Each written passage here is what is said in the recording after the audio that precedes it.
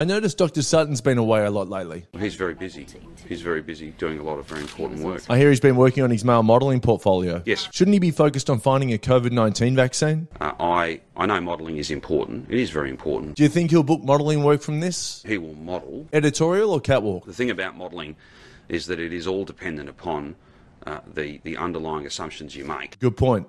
And you're also his personal trainer. Yes. How's he looking topless? Really tight definition And I hear the right bicep is bulging. and it, it sort of flexes. How does it make you feel? Uh, It makes you very, very proud. Dr. Sutton, how's the blue steel coming along? It's very hard to model. Since becoming a male model, have you gotten smarter or slower? I'm not sure I know. What, I'm not sure I know what that uh, means. I think you just answered my question. What did you mean by the tweet, let Dr. Sutton press your button? It wasn't my tweet.